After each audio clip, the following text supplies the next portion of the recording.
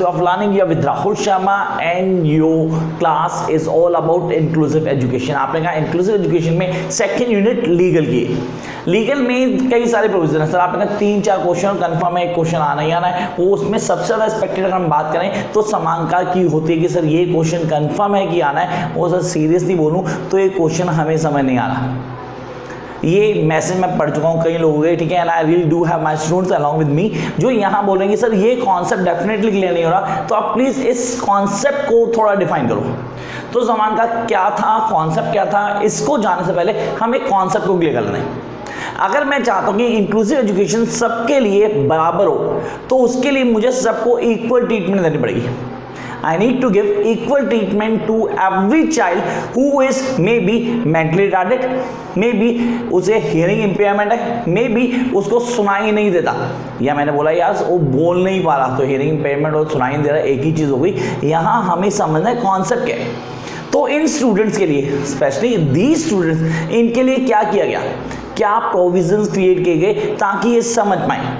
तो इन the year 1994 दुआ clear कर लेंगे in the year 1994 almost exactly the almost 92 countries sir यहाँ पे हो गया हमारे 92 countries government along with 25 international bodies 92 तो गवर्नमेंट्स डेफिनेटली अलग अलग गवर्नमेंट की होंगी, और 25 international bodies sir UNESCO is one of the international body ये सारे के सारे मिलके इन्होंने क्या डिसाइड किया? इन्होंने डिसाइड किया कॉन्फ्रेंस को डिपेंड करती थी special need of education that is all about the special need of education जो कहा हुई समान का स्पेन इस चीज़ का नाम पड़ गया, समान का फ्रेमवर्क ऑफ़ एक्शन हमने नाम दिया पूरा, समान का फ्रेमवर्क ऑफ़ एक्शन तो ये क्या है? इसको समझना ज़रूरी है. We guys need to clear this concept और जैसे हम इस कॉन्सेप्ट को समझते हैं कि sir almost 92 countries 25 international bodies मिलके कॉन्फ्रेंस करती है समान का में स्पेन के अंदर 1994 के अंदर, और ये कॉन्सेप्ट बन जाता है हमारा समान का conference legal framework of action I repeat the words legal framework of action known as समान का इसमें कुछ अलग अलग चेंजेस थे दैट्स फ्रेम ऑफ़ एक्शन सही फ्रेम ऑफ़ एक्शन था क्या? इसमें दोबारा क्लियर करता हूँ, मेरी क्लास में बड़े सारे बच्चे बैठे हैं, जिनमें से कई बड़ी जल्दी समझ आते हैं, कई दो बार, चार बार छः बार बोलने में समझते नहीं है। और आप सब भी टीचर होंगे, कहीं ना कहीं पढ़ाई रहे होंगे, आप बीएड कर रहे हैं तो आपने कहा, सर, कई बार किसी स्टूडेंट को पढ़ाते हुए एक बार समझाया, दो बार समझाया, उसको समझ नहीं आया। फिर आपको गुस्सा आ जाता कि, यार, मैंने इतना अच्छा समझाया, इसको समझ नहीं आ रहा, बाकी सबको आ गया। आप उसको चेक करो, यार, मे बी उसको समझ ना रहा हो, मे बी वो मेंटली टायर्ड हो, मे बी उसका आईक्यू लेवल कम हो। तो वहाँ पे हमें ऐसे स्टूडेंट्स के लिए स्पेशल अटेंशन चाहिए। ऐसे स्टूडेंट को नॉर्मल टीचर नहीं पढ़ाता जनरली नहीं पढ़ा पाएगा। रीज़न क्या होगा कि उसे स्पेशल अटेंशन की ज़रूरत है। He need to have a certain attention जो उसको चाहिए। तो इस कॉन्फ्रेंस का मेन एम वो था। The frame of action is the frame of action it gives the stress over the need of special students and every school should accommodate these students need अब हर स्कूल को इन students की need को accommodate करना है। तो समान का फ्रेमवर्क ऑफ़ एक्शन का बेसिक पर्पस यहाँ पे था कि हर वो स्टूडेंट जो कि स्पेशल नीड डिपेंड करता है। जिसकी स्पेशल नीड है sir that come under inclusive education उसके लिए एक अलग प्रोविज़न होना चाहिए। मतलब every school must have a certain provision ताकि उसको फुलफिल कर पाए।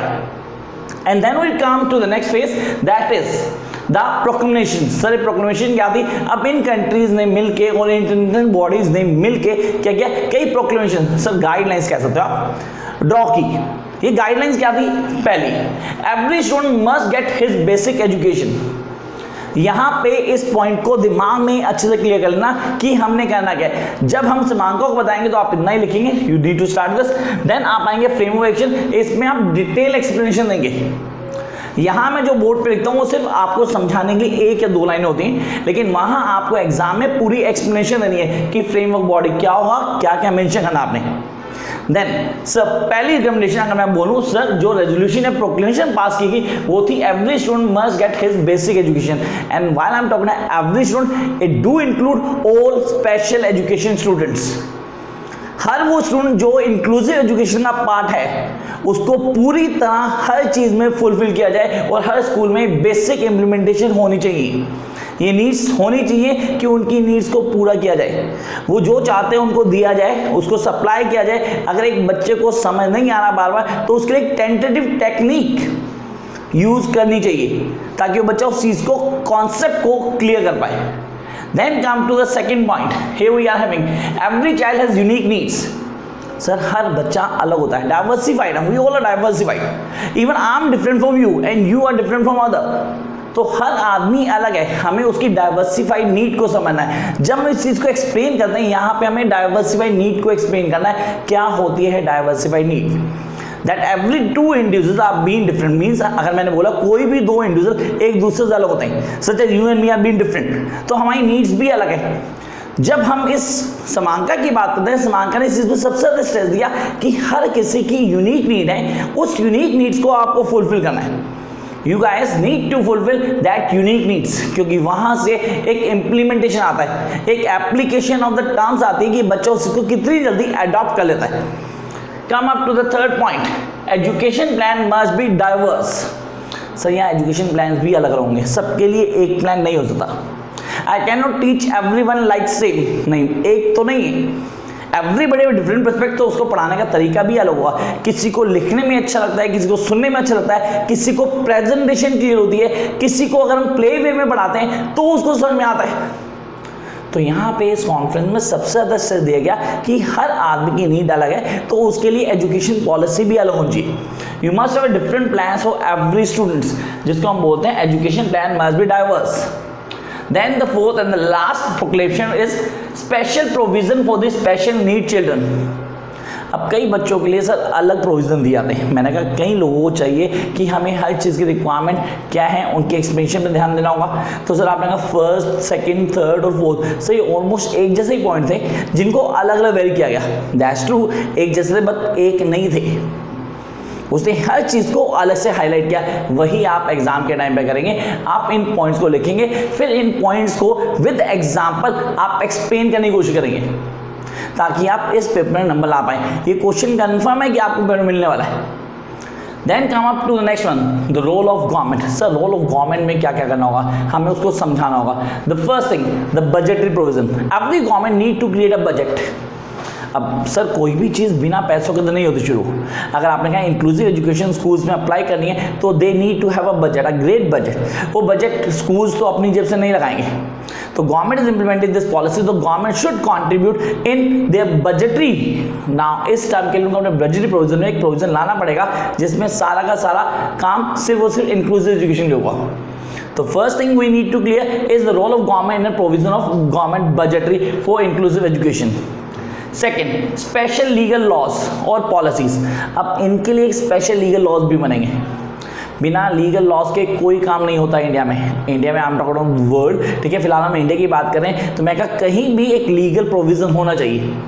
We need to legal provision when we do have a legal provision हम चीज़ों को बहुत ईजिली अडॉप्ट कर पाएँगे.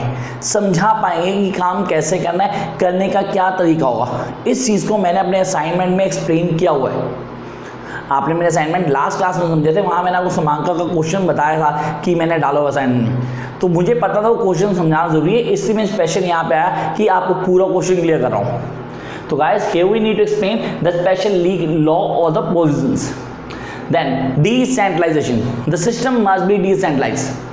It should not be in one hand कि हम सेंट्रलाइज करें तो सर काम अटक जाएँगे। अगर काम में स्पीड चाहिए तो you need to make it decentralise जब आप काम को डिसेंट्रलाइज कर देते हैं तो काम बड़ी जल्दी होने शुरू होते हैं। प्रोविज़न बन जाते हैं and people are easily able to access उस चीज़ को कर पाते हो। और वही हमारी बेसिक रिक्वायरमेंट है। Come up to next point encouragement participation of parents sir यहाँ पे बढ़ावा देना है। नाउ यू कैन सी कि गवर्नमेंट स्कूल भी क्या कर रहे हैं? पीटीएम कर रहे हैं। अलग से पेरेंट्स को क्या करें एनकरेज करें कि आप इस चीज़ में अपना कंट्रीब्यूशन दें। आप आके बताएँ कि बच्चे को क्या हमारा ये बच्चा क्या नहीं पढ़ता घर पे। हर स्कूल में प्रोविज़न दिया गया। तो गवर्नमेंट को एक ऐसे प्रोविज़न लेने के बारे में पड़ेंगे जिसमें एनकरेज करे। पेरेंट्स को भी इनकरेज की तक बच्चे की एजुकेशन के अंदर इन्वॉल्व हो। And here we are talking specially for the inclusive education तो स्पेशल नीड स्टूडेंट्स की बात कर रहे हम, जिनको हमें बताना होगा। Come up to the next point that is state sorry strategy for inclusive education so what does mean by strategy strategy refers to a special plan this is always a special plan for the education of inclusive students those who are special या challenge students तो sir इनके लिए एक अलग से strategy एक special plan तैयार करना पड़ेगा वो स्पेशल प्लान हर बच्चे के लिए वेरी करता है तो वो स्ट्रैटेजी गवर्नमेंट के अंडर आती है गवर्नमेंट को स्ट्रैटेजी को इम्प्लीमेंट करवाना है and come to the last point, here we have the teacher education program. So, what is the teacher education program? Teacher education तो हम बीएड कर ही रहे हैं। ये भी टीचर एजुकेशन का पार्ट है। नहीं सर उसके अलावा हम कहते हैं? डाइट भी करते हैं जेबीटी भी करते हैं। सर स्पेशल एजुकेशन टीचर्स के लिए एक अलग मैन होता है। एक अलग ट्रेनिंग है। वो ली जाती है। मैं या आप किसी स्पेशल नीड बच्चे को नहीं पढ़ा पाएँगे। मे भी हम पढ़ा दें शायद, लेकिन उस पेशेंस या उस लेवल से नहीं पढ़ा पाएँगे जो एक स्पेशल टीचर जो पूरी तरह ट्रेंड है, वो उसे बताएगा कि उसे हर चीज़ बच्चे की पता है कि उसको क्या चाहिए and how I'll going to do that तो ये वो पॉइंट्स हैं जो आपको गवर्नमेंट के रोल को डिफाइन करने हैं समान का फ्रेमवर्क ऑफ़ एक्शन में। फिर हम आते हैं sir the role of international community role of international community sir international community की बात की जाती है तो हम बात करते हैं यूनेस्को की, हम बात करते हैं अलग अलग फेजेस की, हम डब्ल्यूटीओ की बात नहीं करेंगे, हम बात करेंगे उन कॉन्सेप्ट की जो रिलेट करते हैं एजुकेशन से यूएन की बात कर सकते हैं। तो यहाँ पे क्या प्रोविजंस हैं? वो सारे के सारे प्रोविजंस आपको एक्सप्लेन करने हैं। These are the points. Those are really important to explain समांका अगर ये क्वेश्चन 16 नंबर का आता है तो मुझे सारे के सारे points one by one explain करने ज़रूरी एंड होप कि आप लोगों को समझ में आया और आप पेपर में इज़ लिख पाएँगे। Till then like share and subscribe you think it's worth to watch and share जल्दी मिलते हैं नई वीडियो के साथ। Bye guys